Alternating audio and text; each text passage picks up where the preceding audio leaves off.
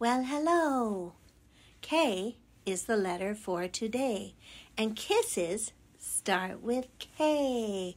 I love me some kisses. Oh, what other words start with the letter K? Let's find out. K is for kettle, and I am a kettle for your tea. I hope you're enjoying your K's. I am a knight, and I protect the kingdom. Kingdom starts with K.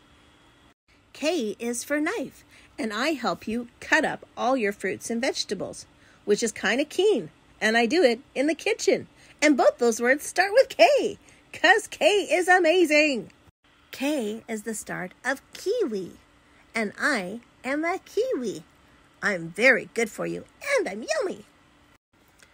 I am a kangaroo, and this is my Joey.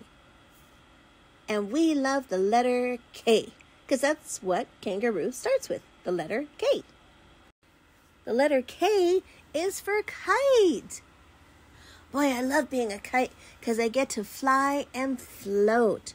It's the life being a kite. K is also for kaleidoscope.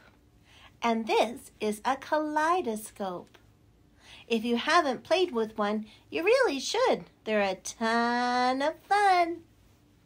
I hope you enjoyed today's lesson on the letter K. And I look forward to seeing you for L M N O P Q R S T U V W X Y and.